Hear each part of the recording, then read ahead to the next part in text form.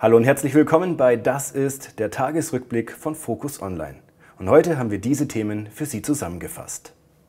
Das ist der Sachverständigenausschuss zur Evaluation des Infektionsschutzgesetzes.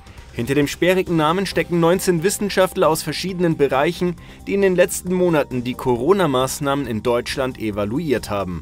Am Freitag haben sie ihren Bericht vorgelegt. Die wichtigste Aussage, einige Schutzmaßnahmen können auch weiter gegen das Coronavirus hilfreich sein so etwa Masken, wenn sie denn richtig getragen werden. Eine Maskenpflicht sollte auf Innenräume und Orte mit einem höheren Infektionsrisiko beschränkt bleiben, so das Gremium. Auch Zugangsbeschränkungen für Getestete halten die Experten weiterhin für sinnvoll.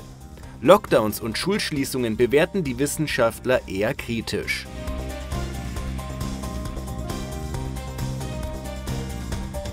Das ist Andrei Melnik. Der Botschafter der Ukraine in Deutschland steht wegen seinen Aussagen über den früheren Nationalistenführer Stepan Bandera in der Kritik.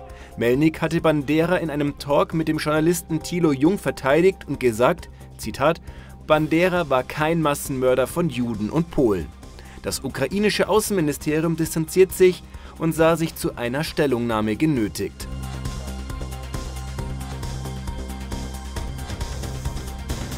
Das ist Jule Niemeyer. Die deutsche Tennisspielerin steht im Achtelfinale von Wimbledon. Die 22-Jährige setzt sich gegen die Ukrainerin Lesia Surenko in drei Sätzen durch. Zuvor hatte sie schon überraschend gegen die Weltranglisten Dritte Annette Konterfeit aus Estland gewonnen. Bei ihrem Wimbledon-Debüt trifft sie nun auf Kaja Juvan aus Slowenien oder die Britin Heather Watson. Neben Niemeyer erreichte auch Tatjana Maria das Achtelfinale.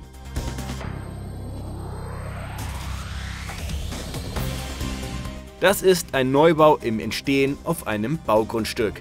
Wer ein Grundstück oder Immobilien besitzt, muss Grundsteuer bezahlen. Diese muss nach einem Urteil des Bundesverfassungsgerichtes neu berechnet werden. Millionen Haus-, Wohnungs- und Grundstücksbesitzer haben deshalb vom 1. Juli an bis spätestens Ende Oktober eine Art zweite Steuererklärung abzugeben.